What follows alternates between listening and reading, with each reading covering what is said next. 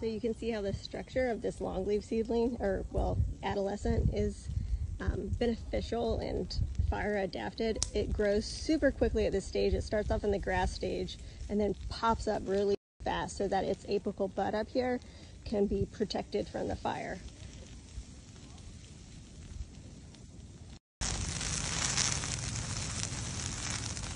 Watch this longleaf go.